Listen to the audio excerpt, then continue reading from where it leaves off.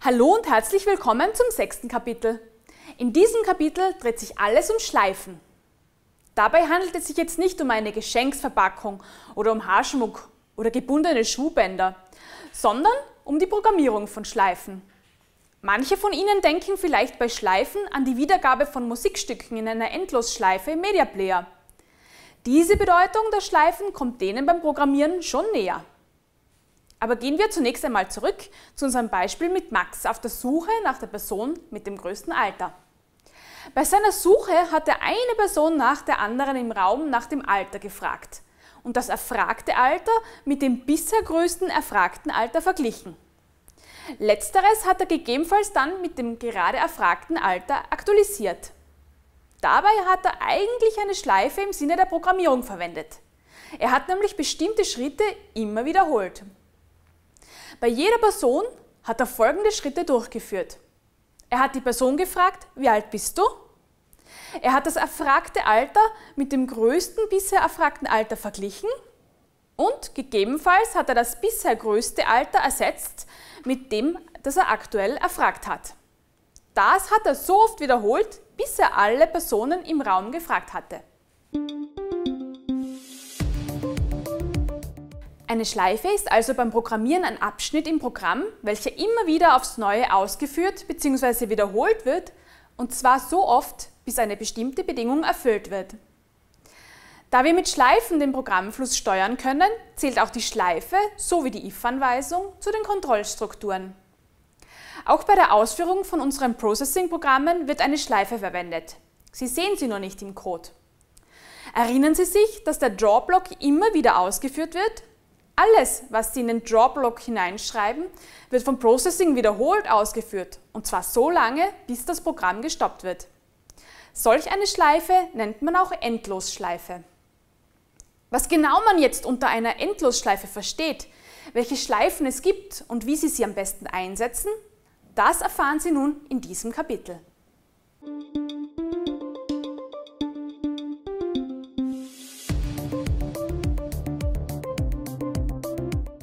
Wie auch in anderen Programmiersprachen gibt es auch im Processing verschiedene Arten von Schleifen. In diesem Kapitel werden wir uns mit den zwei gängigsten Typen beschäftigen, der While- und der For-Schleife. Überlegen wir uns folgendes Beispiel. Ich bin durstig. Was mache ich dann? Ich werde etwas trinken, zum Beispiel Wasser. Idealerweise so viel, bis mein Durst gestillt ist. Wenn man diese Aktivität in einzelne Schritte zerlegt, könnte man sie also auch so formulieren. Solange ich durstig bin, trinke ich einen Schluck Wasser. In dieser Formulierung steckt die Struktur einer sogenannten While-Schleife. Solange etwas, also eine Bedingung oder ein Ausdruck, zutrifft, führe etwas Bestimmtes durch. Wie Sie wahrscheinlich einfach feststellen können, ist in unserem Beispiel die Bedingung Ich bin durstig. Und solange diese zutrifft, trinke ich einen Schluck Wasser und wieder einen und wieder einen und so weiter. Und je nachdem, wie groß mein Durst ist, werde ich dann einen Schluck trinken oder zwei oder fünf oder zwanzig. Übertragen wir dieses Konzept nun auf die Programmierung. Die While-Schleife wird mit dem Schlüsselwort While eingeleitet. Diese Stelle im Programm wird auch der Einstiegspunkt in die Schleife genannt. Danach folgt die Bedingung. Wie bei der if-Anweisung wird auch diese in runden Klammern nach dem Befehlsnamen while geschrieben. Die Bedingung wird zunächst überprüft. Wenn sie zutrifft, werden die Anweisungen, die innerhalb der geschwungenen Klammern geschrieben werden, ausgeführt. Danach springt das Programm wieder zurück zur Bedingung der Schleife und überprüft sie erneut. Trifft die Bedingung noch immer zu, werden die Anweisungen innerhalb der geschwungenen Klammern erneut ausgeführt und so weiter. Sobald die Bedingung nicht mehr zutrifft, das heißt, sobald die Bedingung innerhalb der Klammern false liefert, werden die Anweisungen innerhalb der Schleife nicht mehr ausgeführt. Processing springt dann zum Ende der Schleife und führt die nachfolgenden Anweisungen aus. Verallgemeinern wir dieses Beispiel, können wir die Struktur einer While-Schleife beschreiben mit While, dann in runden Klammern die Bedingung und dann in geschwungenen Klammern alle Anweisungen, die ausgeführt werden, solange die Bedingung true ist.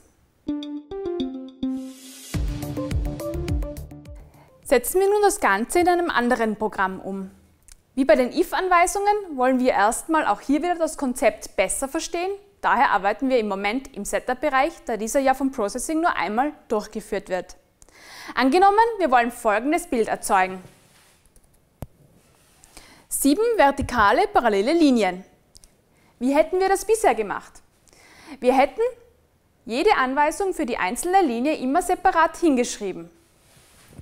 Also die erste Linie, die zweite und so weiter bis zur Linie 7 mit all ihren Parametern. Schaut man genau hin, erkennt man, dass immer der gleiche Abstand zwischen den Linien ist und die Linien selber auch immer gleich aussehen. Damit könnten wir doch eigentlich sagen, zeichne die erste Linie und gehe dann um den Abstand weiter. Dann zeichne die zweite Linie und gehe wieder um denselben Abstand weiter.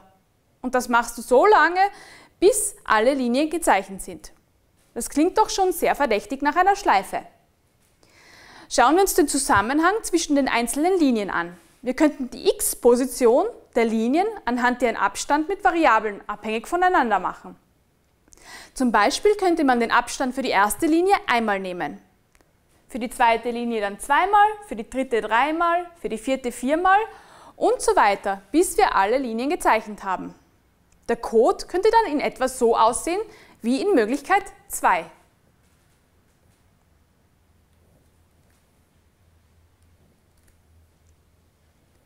Wir führen hier also diese Variable ein und mit jeder Linie nehmen wir einmal öfters diesen Offset zum Zeichnen. Dadurch haben wir uns Rechenarbeit und ein wenig Schreibarbeit erspart, wenn man das Beispiel erweitern will. Wenn wir eine weitere Linie hinzufügen, brauchen wir nun nur den Abstand mit 8 multiplizieren. Trotzdem würde das bei 20 oder 50 oder noch mehr Linien immer noch sehr mühsam werden. In all diesen Line-Befehlen sehen wir aber eine gewisse Ähnlichkeit. Der einzige Unterschied liegt im Hochzählen dieses Faktors. 1, 2, 3 und so weiter bis 7. Solche Abfolgen von Programmen könnten wir jetzt mit einer While-Schleife ganz elegant vereinfachen.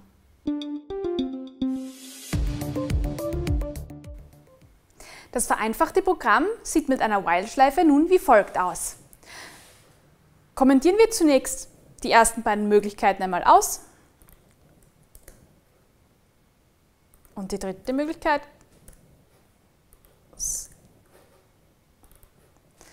Dann sehen Sie hier nun die Option mit der While-Schleife.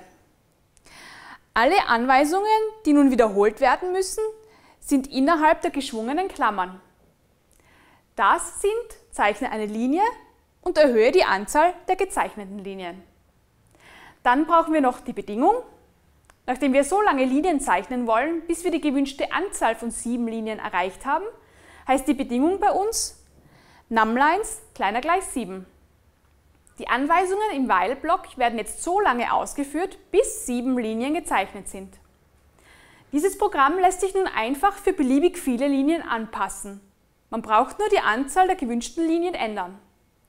Wenn wir jetzt auf Run klicken, machen wir das mal, dann sehen wir auch hier wieder, es sind wieder die sieben parallelen senkrechten Linien. Es ist also dasselbe Resultat, aber mit der Schleife haben wir uns einiges an Schreibarbeit erspart. Das Programm ist also kürzer geworden und übersichtlicher. Und nicht nur das, das Programm kann auch leichter angepasst werden, zum Beispiel um alle Linien zu verschieben oder um den Abstand zwischen den Linien gleichmäßig zu erhöhen.